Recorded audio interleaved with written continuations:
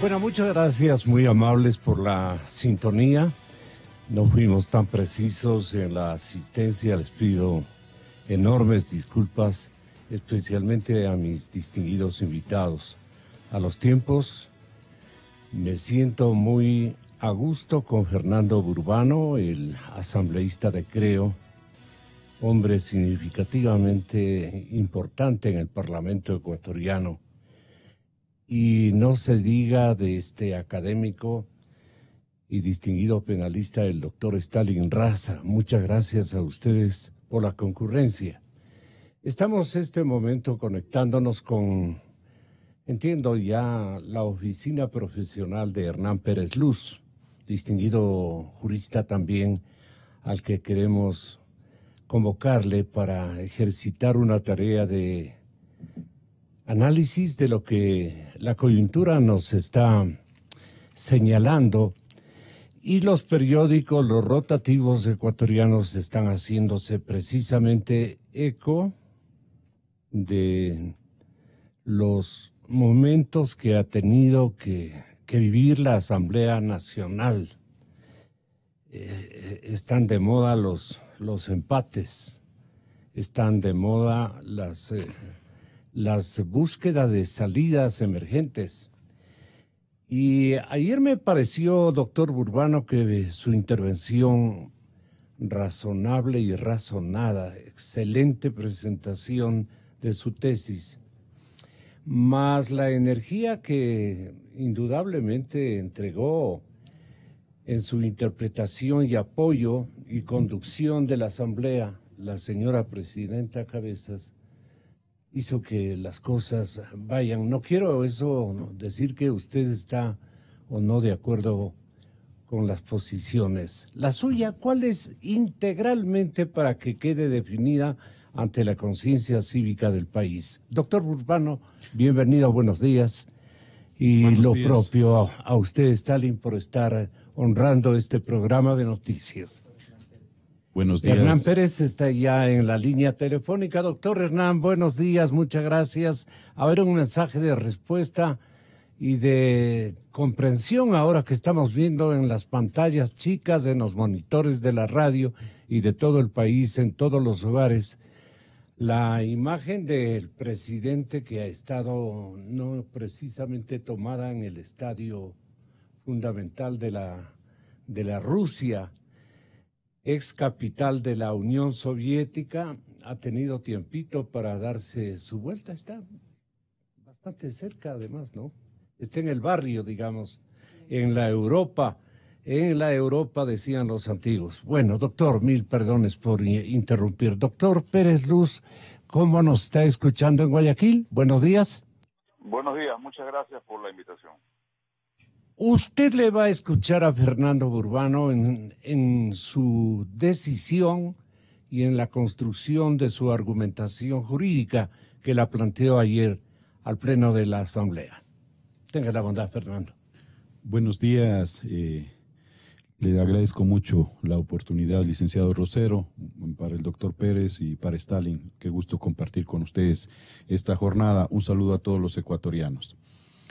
Creo yo que lo que la obligación que tiene la Asamblea Nacional más allá de hacer cumplir la Constitución y la ley y evidentemente la tarea de fiscalización y legislación tiene un rol importante de contribuir en este momento histórico que está viviendo el país el fortalecimiento de las instituciones, porque la democracia con institucionalidad funciona y garantiza los derechos de los ciudadanos.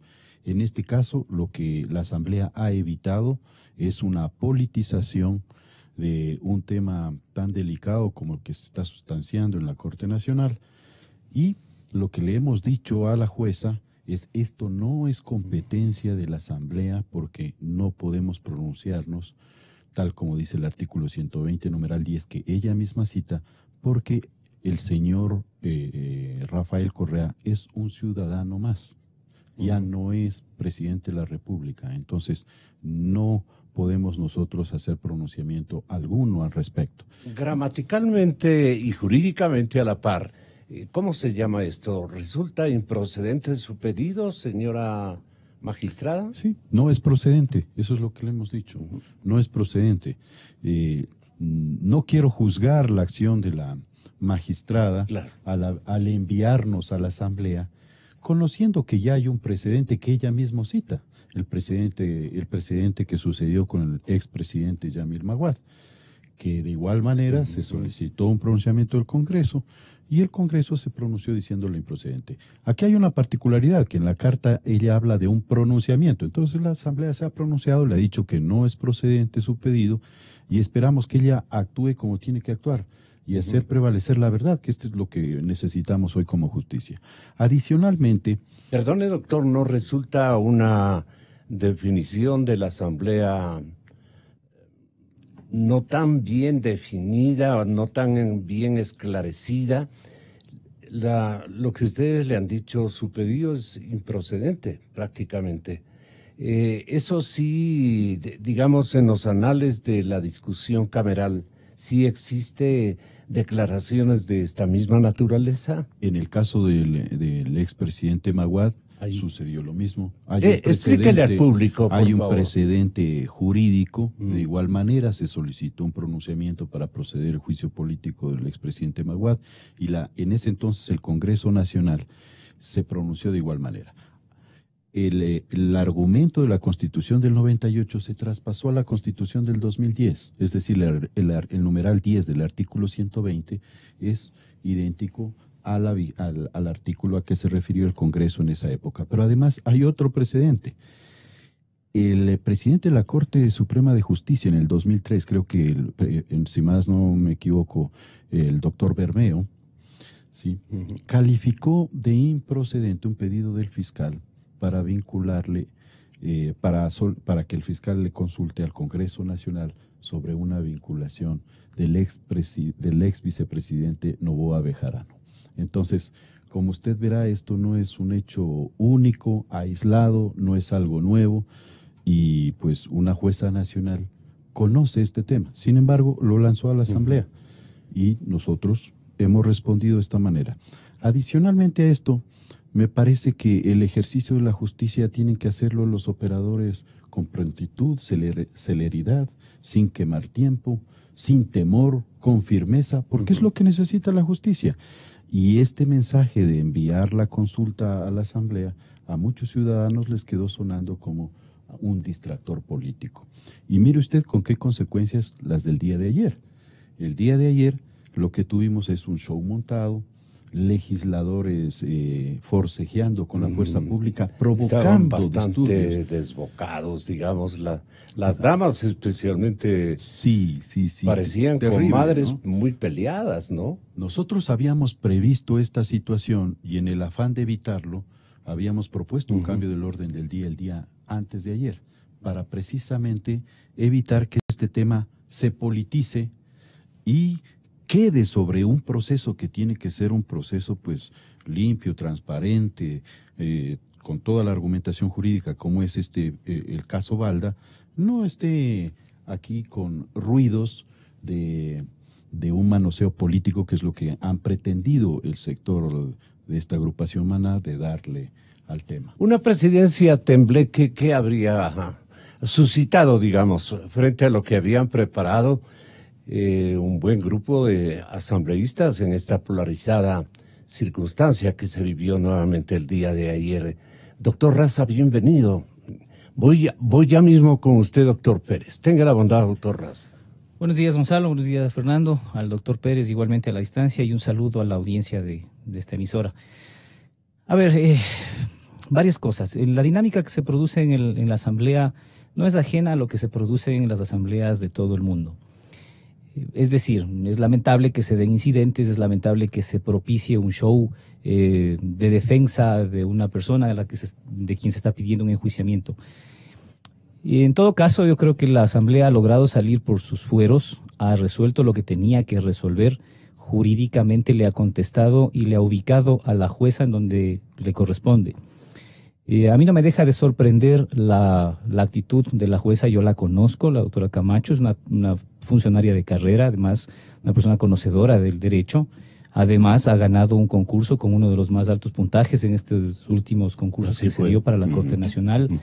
Así que no deja de sorprenderme que ella confunda o que manifieste desconocimiento acerca de dos instituciones jurídicas fundamentales porque más allá de los precedentes, de lo que decía la Constitución del 98, de lo que dice la actual, de cómo se ha dado la tradición jurídica en los casos en los que se ha pedido al Congreso antes y a la Asamblea hoy estas, eh, estas autorizaciones de enjuiciamiento a ex funcionarios, em, lo que es verdad es que hay dos instituciones fundamentales que no se pueden confundir, que son el fuero y la inmunidad. El fuero es aquella garantía que tiene el expresidente de la República para ser juzgado por los jueces de la Corte Nacional de Justicia, porque el presunto delito por el que va a ser eh, acusado y por el que va a ser procesado se cometió durante el ejercicio de sus funciones. Entonces, él tiene la garantía y la función judicial también tiene la garantía de que le juzguen jueces de igual jerarquía, de la Corte Nacional de Justicia.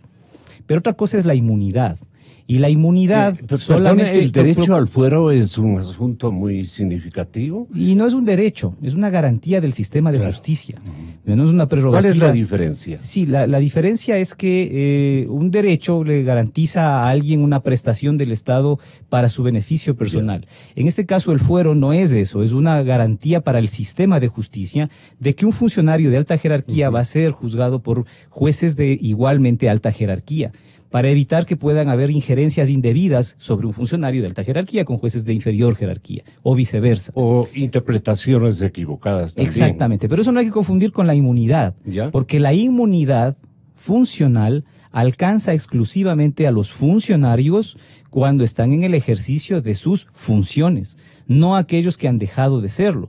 Es el caso de los asambleístas, es el caso de los diplomáticos y es el caso, en este tema en particular, del enjuiciamiento penal del presidente y vicepresidente de la República en funciones. Porque además ese fuero es un fuero especial, esa, esa inmunidad, perdón, es una inmunidad, es un privilegio especial que se llama desafuero.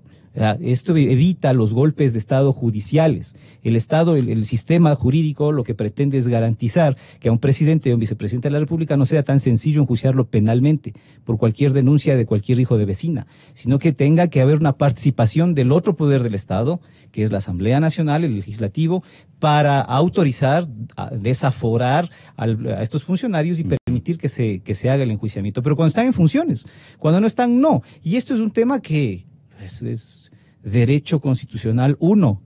O sea, yo sí me sorprendo de que la jueza eh, haya procedido de esa manera, porque al final lo que ha dado, primero lo que ha hecho es desgastar el tiempo de la instrucción fiscal durante varios días, y segundo, lo que también ha hecho es propiciar esta plataforma política y estos escándalos que finalmente se han dado. La paisana Gabriela Rivadeneira mencionaba ayer lo siguiente, doctor Hernán Pérez Luz. Ella decía en definitiva, que la asamblea de esta víspera o que la sesión de esta víspera carecía de validez y que iba a pedir la nulidad de la sesión.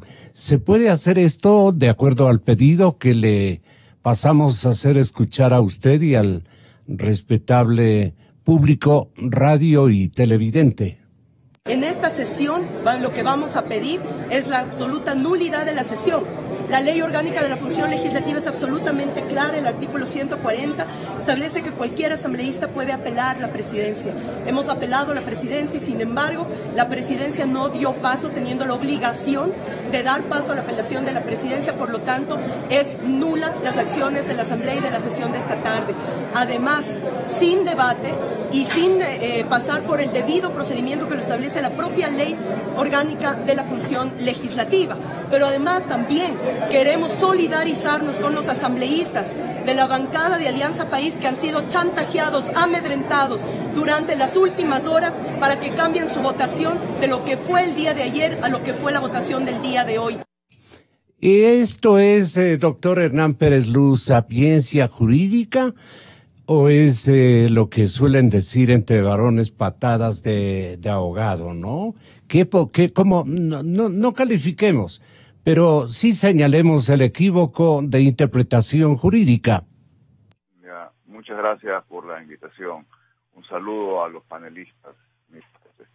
Eh, quisiera comenzar haciendo simplemente unas pequeñas acotaciones a las a las exposiciones que me han antecedido y que realmente comparto con ellos.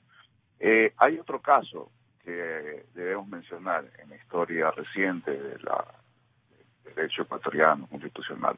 Fue el caso del presidente, del expresidente León Flores Cordero. Recordemos que él fue eh, llamado a un juicio plenario por una investigación penal, un juicio penal que inició el presidente de la Corte de Justicia, Corte Suprema de Justicia, el doctor Ramiro Larrea Santos. Mm. En esa ocasión, eh, me parece que la defensa del ingeniero Flores Cordero algo mencionó sobre el tema de la necesidad de pedir autorización al Congreso en esa época. Creo que no prosperó mucho o no se hizo mucho énfasis. Mm. Sin embargo, el auto que dictó el presidente el de la Corte, el doctor Larrea, expresamente habla de que no es necesaria esa autorización porque eh, ya era había dejado de, ser presidente de la República. Eh, así que realmente llama la atención lo que ha hecho la, la presidenta, de la, perdón, la, la, la jueza, eh, porque realmente hay abundantes precedentes en sentido contrario. Este, así que dejo nomás dicho. deja entrever, doctor Hernán, la jueza, que está como parcializada, eh, está armada de una consigna claramente visible y la presidenta de la Asamblea em, no, no hace honor, digamos, a su experiencia de conducción jurídica. Eh, no creo que lleguemos al extremo de acusarla de falta de, imparcialidad a, a, la, a la señora jueza. Claro, pero sí llama la atención y comparto la extrañeza que han manifestado el doctor Raza y el doctor Urbano con respecto a esta decisión. Así que hay que estar más bien atentos ahora a ver cuáles serían las próximas decisiones que toma esta jueza.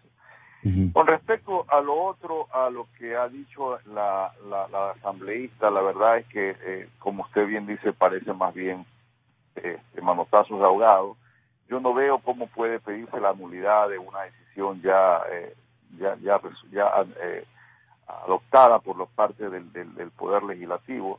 Eh, la, la, la, la, no la no aceptación o de, la, habría que ver las actas que sucedió durante el, durante la, sesión la el pedido de la de la de, la de que se cuestionara la, la presidencia de la asamblea y en el supuesto caso que no se dé plazo, no, no, no se dé paso, no implica pues una violación eh, de, de, naturaleza de esta la nulidad, ¿no? La nulidad de actos eh, de, derecho público tiene una serie de, condiciones y de requisitos y de que no, no se cumple en este caso. Me parece que eh, parte del juego político, porque en este caso, como decía el doctor Raza, ah, estamos en una especie de bisagra entre lo jurídico y lo político y hay que estar un poco atento a, ambas a ambas vertientes que son legítimas obviamente una democracia eh, una decisión como la que se ha tomado de enjuiciarlo penalmente a este señor que dirigió el país por 10 años no no es pues tampoco una decisión eh, así intrascendente. Es una decisión que causa obviamente un impacto eh, social político nacional y que es propio pues de una de, un sistema democrático no la compañera Iván Gaibor que usted la conoce distinguida periodista de la redacción en Quito del diario Expreso me parece sí Expreso mencionaba que fue ayer un, mal día para para para ser correísta. Sus legisladores dijeron haber, eh, haber sido víctimas de una agresión de la policía en las afueras de la Asamblea, pero también dentro del Pleno, en el gran salón de deliberaciones, también se, se pelaron, como dicen los, niños de, de, la sierra, se pelaron, se equivocaron.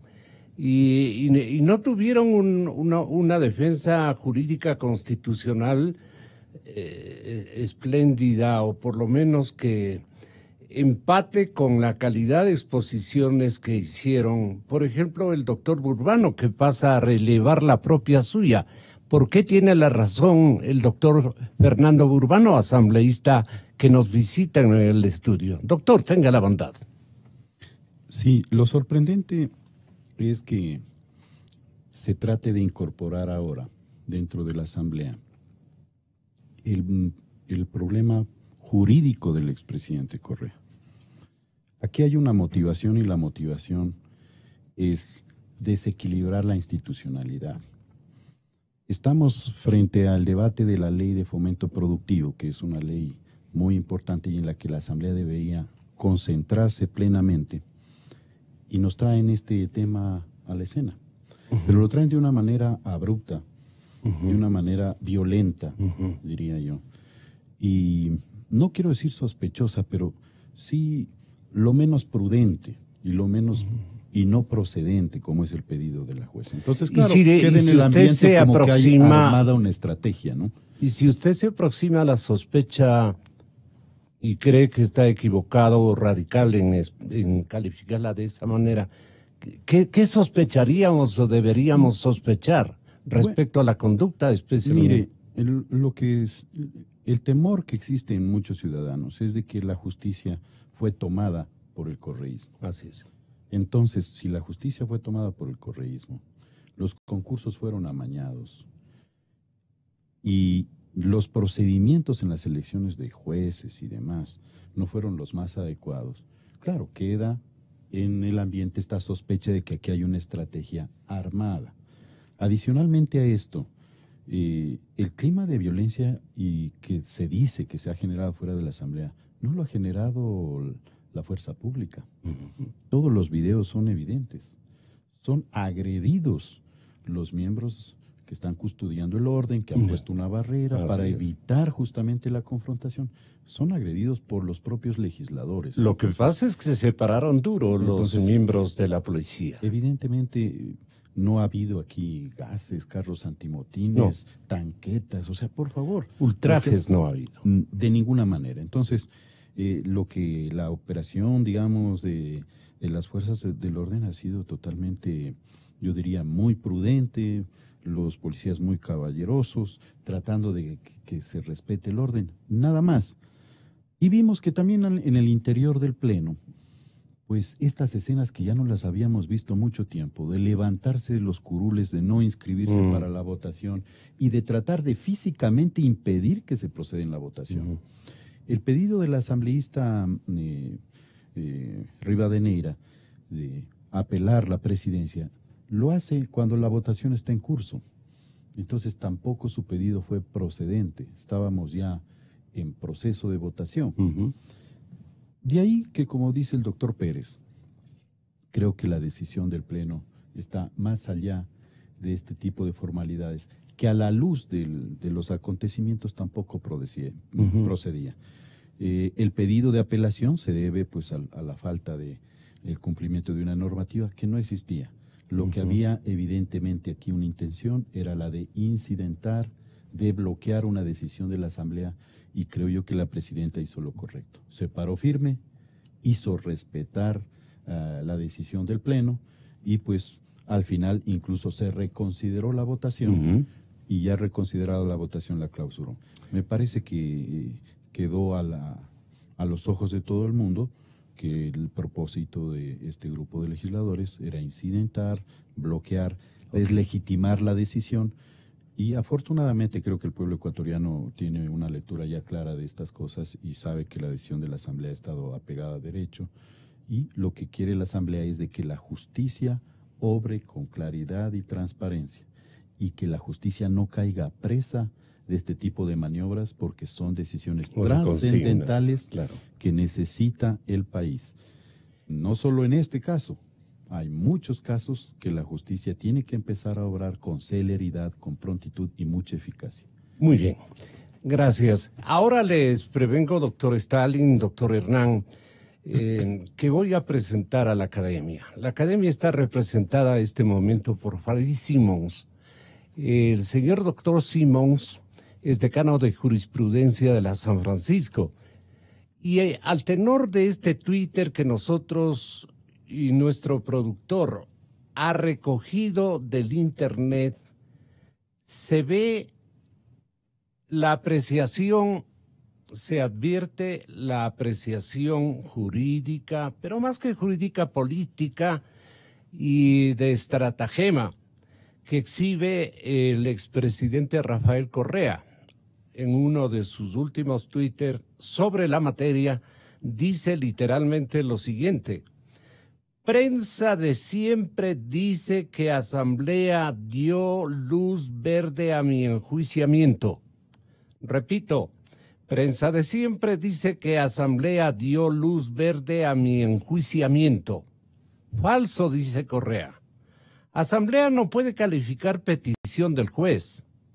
Peor por simple mayoría.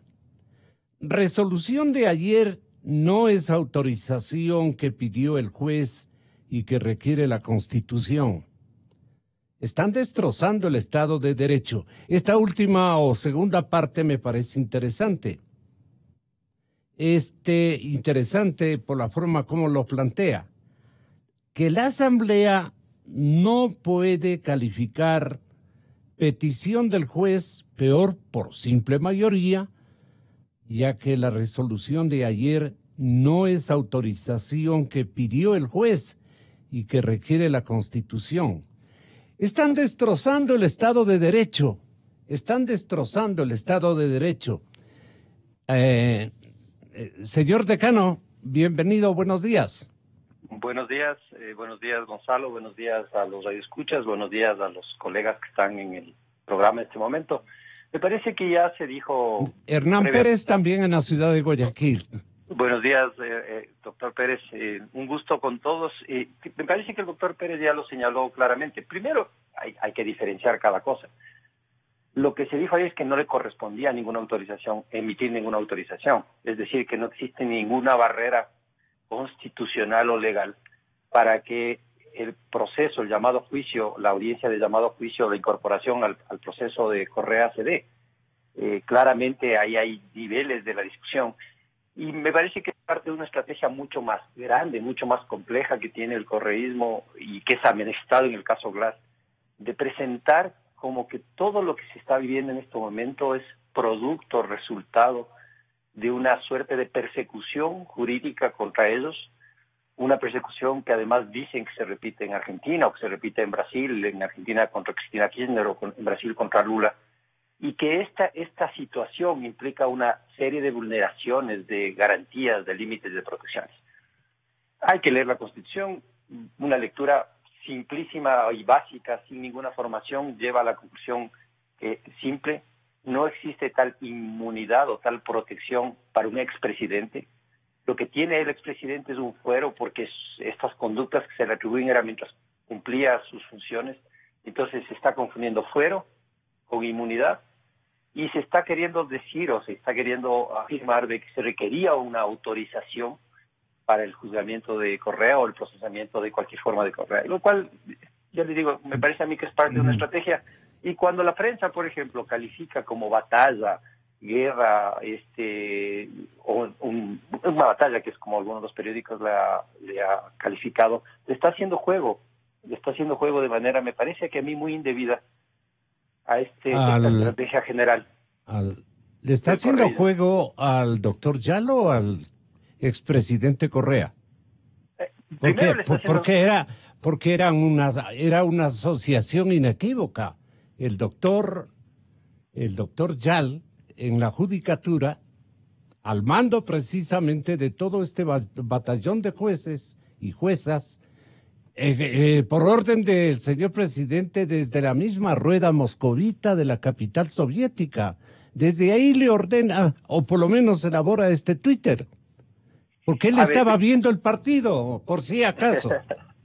A ver, ahí, ahí está, nuevamente hay niveles, ¿no es cierto? Me parece que efectivamente lo que acaba, lo que esta relación que había entre eh, Correa y Yal, que es una cuestión innegable, el informe del Consejo de Transición lo documenta bastante bien.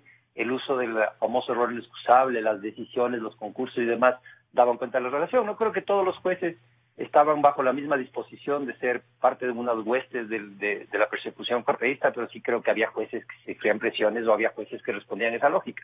Se tiene el primer espacio es en la, la salida de ya del sistema de justicia, que de alguna manera es una liberación o una disminución de presión ante aquellos jueces que tenían que hacer su trabajo y tenían miedo de ser sancionados por hacer su trabajo. La segunda parte es Correa evidentemente llenándose de razones o dando un discurso público que le pone en plano de víctima. Lo que todos esperaríamos y que en este segundo momento es mm. que el Consejo de Transición, al subir, al, al, llegar al posicionarse del Consejo de, la Judicatura de Transición, al, al el momento de, que tomen sus cargos, den un mensaje claro de que van a respetar y garantizar la independencia de la justicia en todas sus expresiones para que todo proceso judicial contra cualquier persona en el Ecuador, no solamente contra Correa, contra cualquier persona en el Ecuador, se haga respetando el debido proceso y condición básica la independencia de los jueces. Perdone, la, Asamblea, en, para que nos entienda el público, lo que quiere darle una significación preponderante el expresidente Correa es que la Asamblea no puede calificar la petición de un juez. No debe, en este caso. Es que la, respuesta es más bien no debía. Me parece que la jueza Camacho, lo, a ver, eh, uno puede hacer distintas lecturas. La primera lectura que uno puede hacer es que la jueza Camacho estaba dirigida o tenía una estrategia aparte de esta estrategia más global. De la, de, o tenía una consigna, o tenía una consigna. O tenía una consigna. La otra es que la jueza Camacho estaba protegiendo el juicio de posibles este, impugnaciones posteriores, o sus decisiones de posibles impugnaciones posteriores. Si ella calificaba en ese momento de que no era, no era necesario, ella directamente, que no era necesario la autorización de la Asamblea, de la Asamblea Nacional para el Procedimiento de Correa, seguramente está pensando que le iban a impugnar esa decisión.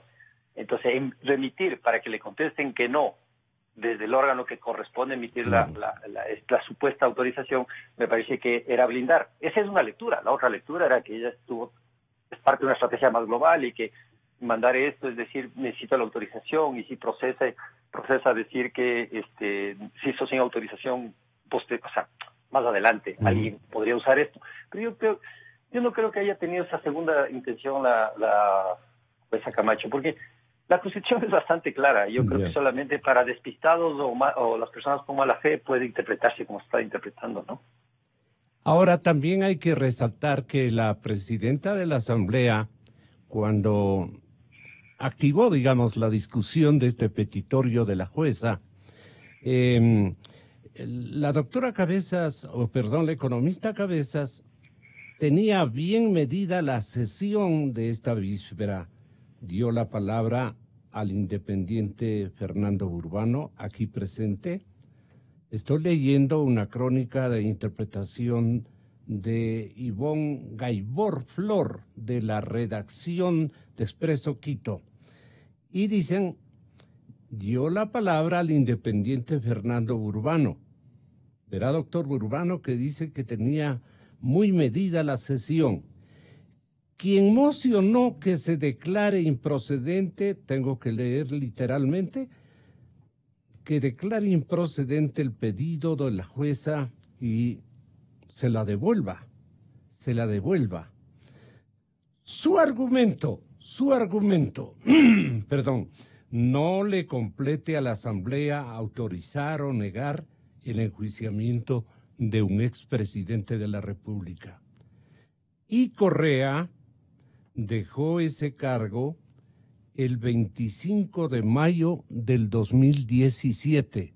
Todos están hablando, el mismo Correa está hablando como que sigue de presidente. Entonces el equívoco es gigantesco de parte del exmandatario y el equívoco de los otros también es... Eh, por eso es que la opinión del doctor Pérez Luz nos hace falta este momento y de, luego de todos ustedes, iniciando también o reiniciando con la posición de Farid. Pero doctor Pérez Luz, para que no esté muy ausente de la conversa, tenga la bondad. Eh, bueno, poco tengo yo que añadir. Yo creo que la, la posición que, que señala doctor Simón es la correcta. El, el, el, correísmo está jugando ahora la carta de la, de la víctima, de la persecución, de la arbitrariedad, etcétera, ¿no? El mismo eh, expresidente, ¿no? Claro, nada menos que un expresidente. Yo, yo veo que la... está victimizándose, sí. exactamente, actuó correctamente. Yo no sé si le, le, puede interesar. Hay otro caso muy conocido eh, internacionalmente en, Francia sobre este tema. Y se lo voy a contar porque creo que ilumina mucho el sistema que hemos, se ha aplicado en otras partes del mundo, incluyendo en el Ecuador. El presidente Chirac fue en su momento alcalde de París.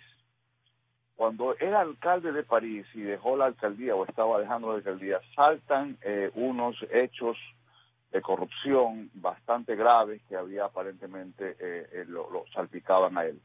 Comienza la judicatura francesa a investigar estas, estos hechos.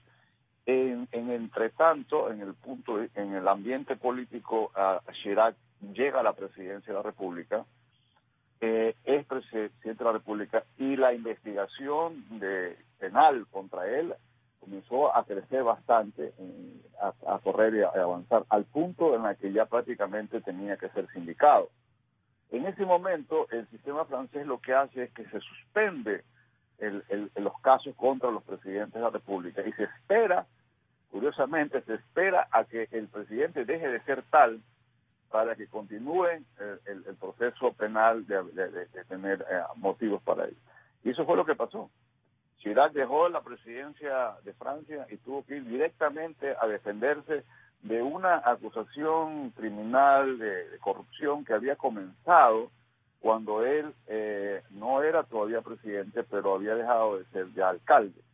Y terminó muy mal su carrera política porque aparentemente entiendo que la Corte, el Tribunal en encontró responsable y simplemente creo que le, le, puso una sanción de que estar en la casa, un arresto domiciliario por la edad. Pero ahí está otra prueba, es decir, durante la presidencia de la República de, de, Jacques Chirac, él eh, obviamente tenía un mandato político, había que respetar eso, causaría una conmoción por el país eh, tener que suspender, llamar a nuevas elecciones, el señor tenía que irse a la cárcel, etcétera. El sistema de ellos lo que contempla es que en esos casos se suspende la, acción penal, eh, no no no es que eh, se, se, no es que se expira ni caduca ni prescribe, simplemente y se reinició. El caso se reinicia cuando él deja la presidencia y ya convierte en un ciudadano normal y corriente que tiene que responder por sus actos. Sirve el, ejemplo. Correa, el presidente Correa está, pues, obviamente eh, eh, atemorizado de que las teclas del poder que él manejó también, y y fueron básicamente el, poder judicial. Yo no creo que él hubiera podido hacer lo que hizo, ni si hubiéramos tenido el grado de corrupción que hemos tenido, de abusos, abusos de, de poder, si no habría tenido el control que ejerció el poder judicial como lo hizo durante 10 años. Sí, era parte de su estratagema global, pues, ¿no? Ahora, sigamos con esto. Farid, me parece que debe usted replicar, eh, señor decano, si se puede o no se puede desde la Asamblea calificar la petición de un, de un juez.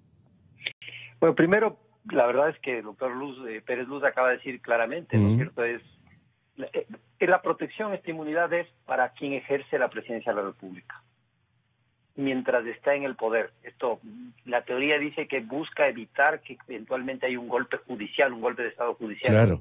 Donde los jueces a través de un proceso de cualquier Lo sigan considerando puedan afectar al presidente. Claro. Pero una vez que ha terminado sus funciones, más allá del, lenguaje protocolar, del lenguaje que le dicen, le dicen presidente a, a Bucarán, le dicen presidente a Gutiérrez, le dicen presidente a Rodrigo Borja, le dicen a todos los que han ejercido la presidencia, le dicen la gente cercana, le dice presidente. Y, en Europa Occidental casi todos son presidentes para siempre. Claro, es el uso, el uso del, del, del, del cargo, del vocativo, como una forma de respeto, pero jurídicamente no se sostiene de forma alguna una cosa así. Y la Constitución es clarísima. Presidente y vicepresidente de la República son el señor Lenin Moreno y la señora Vicuña en este momento del país, no Correa. Ahora, que esto, insisto, está visto como yo creo que hay que dar un paso siempre hacia atrás y mirar esto en el conjunto. Correa ya utilizó el concepto lawfare hace unos días en un tuit, que es esta idea de que hay una guerra jurídica. El concepto este se, se acuñó en el marco de, algunos le atribuyen a un, a un general, a un ex general norteamericano que era abogado general del ejército, que es de utilización del derecho internacional o del derecho en general para obtener ventajas o sacar ventajas, y después se ha ido utilizando este concepto de guerra jurídica para cosas locales. Eh, extrañamente, en el año pasado, en el 2017, en Brasil se creó una fundación Laufa, una fundación formada por algunos abogados eh, brasileños que eh, dicen que están identificando y denunciando el uso del derecho contra los ciertos líderes políticos y sociales de la región. Y sus casos hasta el momento han sido un informe sobre Lula en Brasil y acaban, o hace unas semanas, emitir una carta donde decía que aceptaban como fundación los casos de eh, Correa y de Glass como casos de posible uso de la guerra jurídica en contra de los líderes progresistas. Y le asignaban, decían que le habían asignado a un jurista, a un, abogado argentino, que haga un informe sobre este uso indebido del derecho contra estos líderes. Y hay que recordar que hace unas pocas semanas estuvo aquí, o estuvieron aquí un eh, senador o diputado chileno y su asesor, y hace unos días también salió un informe de un ex fiscal italiano donde decían todos ellos que es una víctima de una persecución jurídica infame, Glass, y ahora dicen que esto es también de Correa. Entonces, lo que hay que recordar es que de esto seguir en el lenguaje de la, del error, el, lenguaje de la confusión que quieren provocar algunos adeptos al correísmo es un error. Hay que ya no hay que discutir más. O sea, la Constitución es clarísima y hay que simplemente decir el intento del correísmo de querer aplicar una regla de manera deshonesta a una situación que no se aplica. Y punto, ya no más, no, no darle más vueltas más. Y yo creo que es una obligación de todos presentar el debate, por supuesto. Pero si uno lee el texto de la Constitución, no existe tal debate, solo existe debate en la mente de aquellos que quieren generar ruido, evitar el proceso. Este, y claro, la segunda, la siguiente es esperar que el juicio sea independiente, imparcial, rodeado de garantías, y que este consejo les garantice, el nuevo consejo de la judicatura garantice eso y les diga a los jueces y fiscales que tienen la libertad de actuar de acuerdo al derecho y a las pruebas sin temor a represalias o sanciones por su actividad judicial. Señor doctor Stalin. Gracias, eh, eh, doctor Stalin Raza, tenga la bondad. Sí, Gonzalo, gracias. Mire, yo estoy de acuerdo, hay que superar ya este tema. O sea, mm. a veces los, eh, los afines a la interpretación de que tenía que decir en la Constitución que es presidente en funciones llegan al, al absurdo, eso sería como el absurdo sostener que hay que decir que llueve agua, ¿no? O no necesita decir, cuando uno dice llueve, llueve agua, pues. Cuando uno dice presidente y vicepresidente, es en funciones, pues no puede ser expresidente o ex vicepresidente. Bien, está bien, hay que superar ya ese debate. ¿Qué viene después? Nunca llueve, tierra, ¿no? claro, pues. Em, ¿Qué viene después? Viene que la, por suerte, el propio sistema jurídico tiene maneras de, em, de sanear estas cosas. Eh, si la interpretación fuese que la, que la jueza Camacho estaba pensando en proteger una posible nulidad del proceso, eh, lo que va a pasar es que ahora con la respuesta de la Asamblea ella tiene que pronunciarse. Ella tiene que decidir si eh, convoca a la audiencia de vinculación o no lo hace, si interpreta ella que la, que la Asamblea le ha dicho que no, que la Asamblea ha dicho que sí. Lo, no cabe esa interpretación. Lo que la Asamblea le ha dicho, señora, no me pregunte, porque no tiene por qué preguntarme. Es improcedente su pregunta. Y con base a eso tiene que tomar una decisión. Y después tiene otro momento, la misma jueza Camacho, en el que tiene que decidir sobre esto, porque si no se le ocurría a la defensa de las personas que van a ser vinculadas a alegar este vicio, ella ya les ha dado la luz para que le impugnen más adelante por ese vicio. Pero cuando llegue a la audiencia preparatoria de juicio, donde ella tiene que pronunciarse sobre la validez del proceso al finalizar la instrucción fiscal, va a tener que resolver sobre esto mismo y va a tener que decidir si el proceso es válido o no y si continúa o no continúa la siguiente etapa. Es decir, la jueza Camacho tiene sobre sus hombros la responsabilidad de decidir ahora si va a vincularlo y después vinculándolo, si va a decidir o no sobre la validez del proceso. Entonces, por suerte, el sistema sí tiene... ¿Y de dónde se saca el expresidente Correa el hecho de que la Asamblea no puede calificar la petición de cualquier juez? Sí, o sea, son, es parte del, de la forma en la que, de la habilidad que tienen para eh, tergiversar las, los argumentos, ¿no? O sea, si mañana un alcalde va a la asamblea. Y, peor por simple mayoría, dice. pero si mañana va un alcalde a la asamblea y o sea, él está investido todavía de, del hecho de que es presidente, pero sabe que ya no lo es. pero él quiere hacer aparecer ante, ante la población ecuatoriana de que sigue siendo la condición de presidente de la República. recordemos que en los últimos 10 años hubo una habilidad para tergiversar el sentido común, pero impresionante. Entonces tratan de hacer lo mismo. Pero el sentido común no se puede tergiversar. ¿Y qué es lo que ocurre? Si va, por ejemplo, un alcalde a la asamblea y le dice, señores de la asamblea, asígnenme presupuesto para hacer un puente. ¿Qué le va pues, a contestar la asamblea? ¿Qué tiene que contestarle? Señor, no me venga a pedir a mí lo que no me corresponde. Pues. Vaya a pedir al que le corresponde. O haga usted mismo. Si la jueza va y le pide algo a la asamblea que no tiene por qué pedirle. ¿Dónde compro la arena? Si la, la, jueza le pide algo a la Asamblea que no tiene por qué pedirle, obviamente la Asamblea tiene que contestarle con una resolución simple. Señora, no me venga a pedir lo que no le corresponde, pedirme. Usted haga lo que tiene que hacer, aplique el derecho, porque para eso es jueza. Para eso tiene la capacidad de decidir. Y en esta parte, Fernando, que dice el expresidente, resolución de ayer, no es autorización que pide el juez o que pide la señora juez y que requiere la constitución y que requiere la constitución. Repito, el párrafo completo es, Asamblea no puede calificar petición del juez, peor por simple mayoría. Resolución de ayer, ubica en su Twitter Correa, resolución de ayer no es autorización que pidió el juez y que requiere la Constitución. No le pone a, manera de pregunta, sino de afirmación. Están destrozando el Estado de Derecho, dice.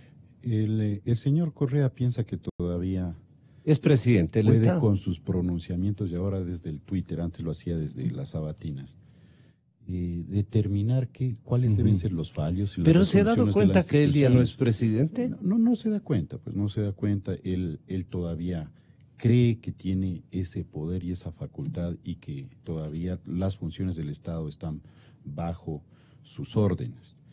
Por ningún concepto él puede estar diciendo qué es lo que tenemos que hacer los legisladores que representamos al pueblo ecuatoriano. Él no representa al pueblo ecuatoriano y mucho menos eh, a la justicia. Entonces, la Asamblea... ¿cómo Le, Leería, perdone que insista en esto, doctor Fernando Urbano. Usted es un líder del movimiento Juntos Podemos y como tal, usted está en la obligación de eh, darnos una opinión sobre esto. El, el presidente quiere seguir siendo, el expresidente quiere seguir siendo o que le estén nominando como presidente de, presidente Correa, no dice el actual presidente, pero dice el presidente Correa. Y como tal quiere gozar o permanecer gozando de los beneficios que tenía antes, para que entienda la gente. Yo hago este, este empeño y este esfuerzo precisamente por el, la gran dimensión de ciudadanos que no entienden eh, la, interpretación esencialmente jurídica constitucional que ustedes le están otorgando. Para que nos entienda el público, entonces, ¿cómo quedamos? Precisamente, mire, la, legalmente la Asamblea se pronuncia a través de resoluciones y eso es lo que ha hecho el día de ayer. Ese es el mecanismo legal, jurídico, por el cual la Asamblea da a conocer sus resoluciones, sus opiniones. Entonces, eh, lo ha hecho en derecho. Pero por otra parte, lo que hizo ayer la Asamblea es dar un mensaje a la ciudadanía diciéndole, mire, a nosotros no nos van a intimidar, no nos van a presionar, nosotros lo representamos a ustedes y vamos a hacer respetar lo que dice la Constitución y la ley. Y además hay que precisar que respecto a la independencia de funciones, la Administración de Justicia lo que tiene que hacer es investigar y si es el caso vincular algún ciudadano que haya hecho un acto antijurídico, tiene que hacerlo. En virtud de su independencia de funciones. Y a cualquier ciudadano, y el señor Correa es cualquier ciudadano. Entonces, si, si este ciudadano ha cometido un acto injurídico. No por ser Vicente, pero todos somos cualquier ciudadano. Todos somos, no lo, no lo estoy diciendo, pero hay que aclararle que él ya no tiene ciertas prerrogativas y mucho menos prerrogativas que incluso cuando él estaba en el capacidad de reclamar pero cuando él ordenar. estaba Pero esa capacidad, eh, si él no está de acuerdo con el procedimiento legal o jurídico, tiene que hacerlo por los canales jurídicos que le garantiza el derecho y el debido proceso. Pero tampoco puede creer como antes, cuando tenía cooptado todos los poderes, venir a dar disposiciones. Pero ahora no hace de pilas de vivo. Creo que eh, el señor Correa, pues. Entre, mezcla. después de tener tanto poder, yo pienso que ha de ser complicado estar en una situación en la cual ya no puede ordenar a la distancia y. le toca llorar en silencio, pero asimilar lo que ya le está ocurriendo. Yo diría que avanzando en lo que dice el doctor Simon, que, que comparto plenamente con su reflexión, me parece que el caso Lavallato lo que ha hecho es no solo abrir todo este gran escándalo de corrupción global que existe, sino que ha puesto en la escena la necesidad de cambiar las democracias. ¿no? Entonces, lo que tenemos, por ejemplo, en muchos países, en Guatemala, en Perú, a nivel eh, latinoamericano es que la justicia se está transformando. La justicia está adquiriendo en una connotación de mucha más independencia, de más fortaleza, y eso es bueno para la democracia, es bueno para los ciudadanos. Y, evidentemente, lo que tenemos ahora es una generación, un, intento de reconstituir y parar la una caída abusiva Claro, reconstituir y, parar la caída de un proyecto fallido en América Latina. Un proyecto que vendió muchas ilusiones, envolvió en el anhelo de tener un, estados eh, que cobijen en derechos a los, a, los, a los ciudadanos, y lo que provocó es un gran desfalco global. Así es. ¿no? Entonces, lo que compete hoy y la responsabilidad que tenemos hoy, los políticos, los, los actores sociales, los comunicadores, todos, es procurar que la democracia se fortalezca a través de instituciones fuertes y de destruir estas redes y estos enquistes que todavía persisten en los sistemas democráticos. O sea, porque eh, tenemos que desmantelar pues todas estas permisividades que existen en el sistema jurídico para generar impunidad. Tenemos que romper todas estas redes administrativas y que tienen respaldo legal para proceder libremente, contratar libremente, dar a dedo contratos. Entonces, esa es la tarea y la arquitectura democrática que hay que hacer. Yo con usted habíamos hablado hace rato y le decía al, al presidente Moreno, no tiene dos cosas que quizás son importantes para un presidente. Recursos y tiempo. No tiene esos dos elementos para poder hacer una gran transformación del país. Pero lo que él sí puede hacer es ser el gran motivador de que al final de su periodo tengamos un sistema democrático fuerte, instituciones independientes y las reglas del juego iguales para todos. Parece que Moreno está en ese trance.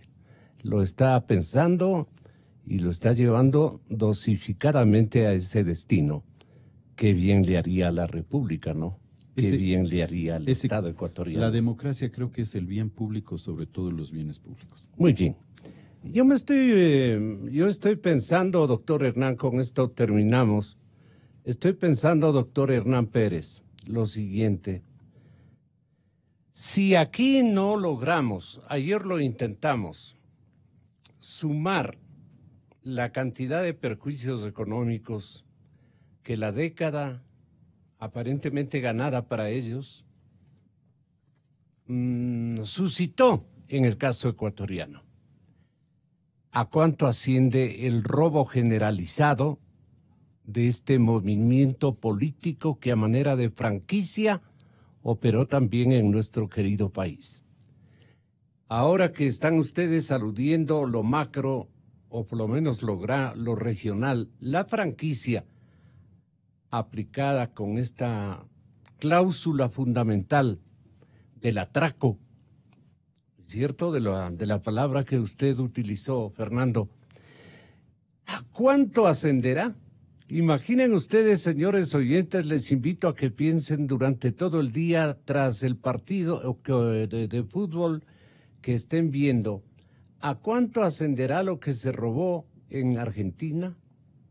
lo que se robó en el Brasil, lo que se robó en Venezuela, lo que se ha robado en México, lo que se ha robado en Perú, lo que se ha robado en Chile, Imagínense ustedes la cantidad de dinero que esta franquicia le ha costado a la región latinoamericana.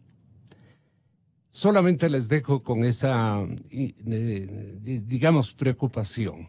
Ahora, la parte última. ¿Cómo estamos en época de limbos? El limbo este otro es que mm, el, el que mencionábamos hace contados instantes es el segundo limbo.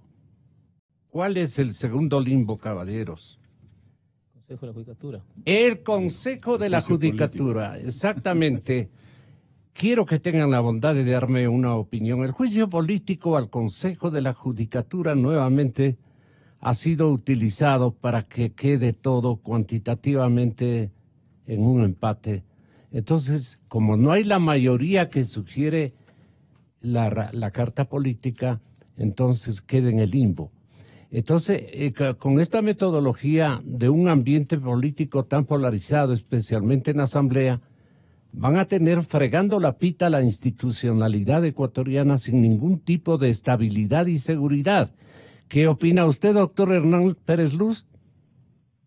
Eh, bueno, eh, quisiera simplemente hacer, para cerrar la, el tema anterior, si hay algo que podemos rescatar de este incidente, llamémoslo así, constitucional de alto nivel, es que en el es lo siguiente, en el futuro, porque creo que van a haber otros otros casos que están prosperando y avanzando, ya el próximo juez o jueza que tenga que ver con un enjuiciamiento penal al señor Correa, al ciudadano Correa, ya no va a tener que hacer ese tipo de, peticiones a la Asamblea.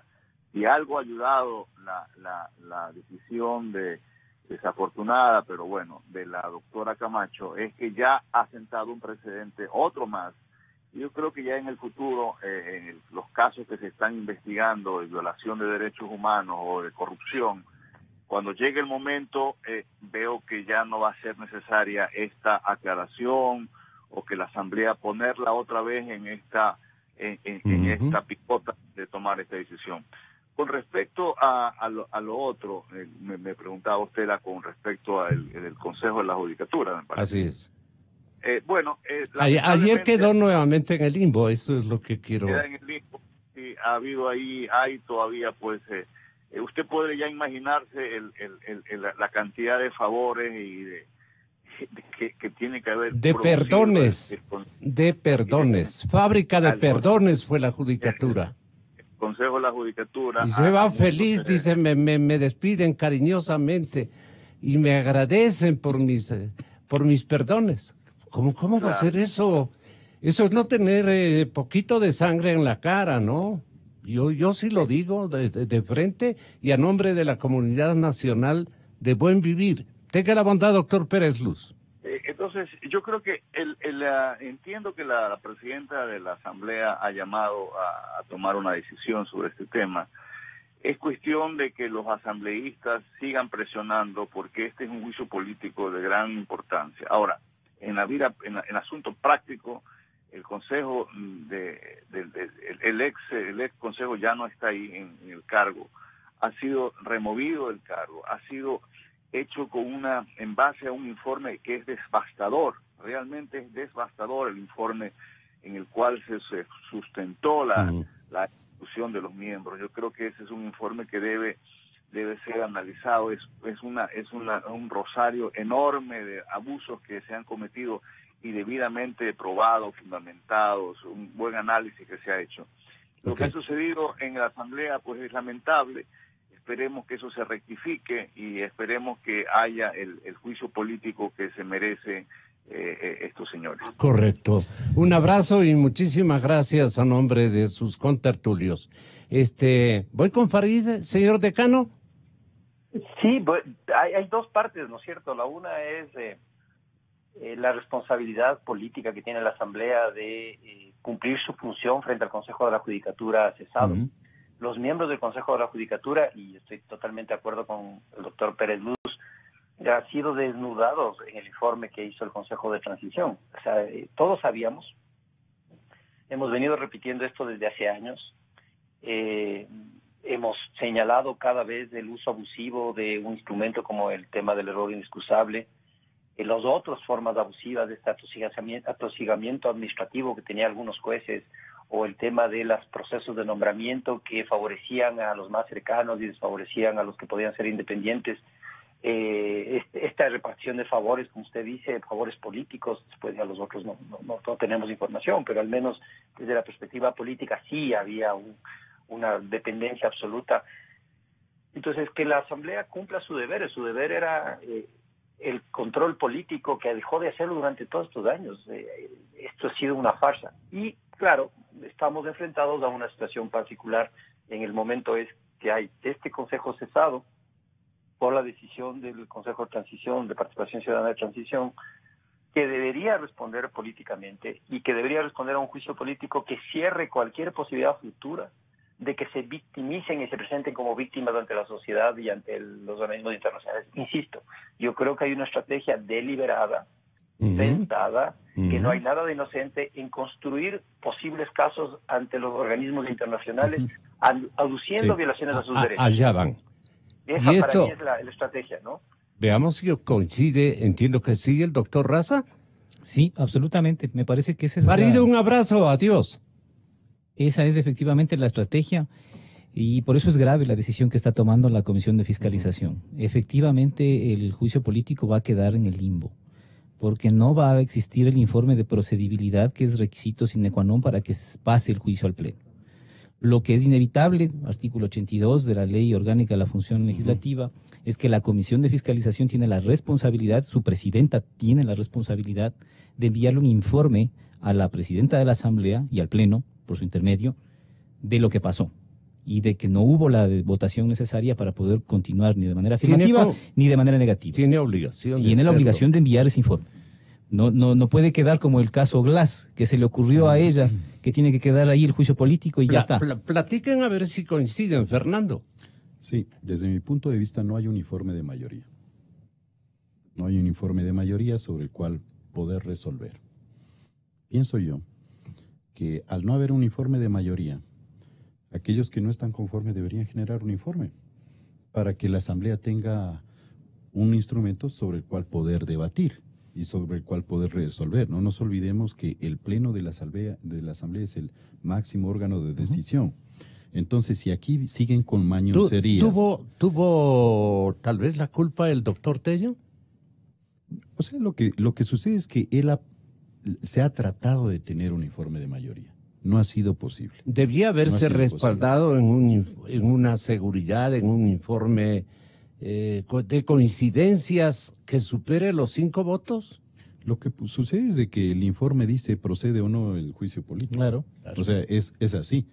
Eh, la comisión tiene que decirle al, al Pleno si procede o no el juicio político, nada más. Entonces, al no existir un informe de mayoría al respecto, creo yo que los legisladores que creen que sí debe proceder, debería ser, para que el Pleno tenga sobre qué tratar y resolver. Y, y la Asamblea ya también tiene que tomar decisiones sobre esto. Lamentablemente, hoy vemos las consecuencias de no haber hecho una reestructuración de la Asamblea, porque tenemos comisiones secuestradas. Usted, usted era partidario de aquello. Yo era partidario de aquello, porque mire lo que pasa hoy. ¿Y por qué se amilanó, doña la señora presidenta? Creo que no hubo una mayoría que garantice que una reestructuración de la Asamblea esté acompañada con una agenda legislativa y una votación eh, consolidada, porque mm. tampoco se podía hablar de una mayoría con seguridad. una mayoría digamos puntual para ese momento. No, se necesitaba ya, generar ya vemos la construcción de dos limbos ya nos da la idea. Mire usted lo que está pasando. Entonces la asamblea necesita tener la consolidación de una mayoría para cumplir una agenda. No podemos estar en esta suerte de eventos o mayorías móviles porque le hacen daño a la democracia qué sugiere doctor Stalin Sí, o sea, tiene que haber el informe de la comisión aunque sea diciéndole a la presidenta y al Pleno, no fue posible tomar una decisión a favor o en contra de continuar el, juicio, para que el Pleno resuelva, debata y resuelva qué va a hacer. Porque la consecuencia de esto, como lo decía Farid Simons, es que em, mañana los miembros del Consejo de la Judicatura cesados van a acudir a las instancias internacionales y lo que van a decir es la forma de terminar las funciones regular, ordinaria, de que está establecida en la Constitución es mediante juicio político. Aquí se nos cesó mediante una forma extraordinaria que nosotros todos hemos opinado internamente que es legítima, pero que ellos la van a discutir en el foro internacional. Y no sabemos qué diga, pues, la Comisión primero y después la Corte Interamericana, sabiendo además cuál es la dinámica de poderes que se juega también en esa Corte Interamericana y de mayorías.